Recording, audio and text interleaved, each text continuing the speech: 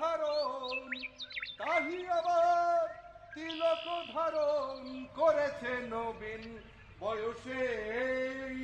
তাহি আবার তিলক ধারণ করেছে নবীন বয়সে। সেই আবার কেমন পাগল।